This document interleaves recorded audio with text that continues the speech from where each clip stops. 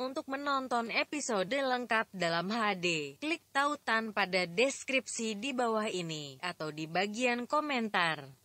Tolong jangan lupa untuk berlangganan dan menyukai video ini. Terima kasih. Selamat menonton.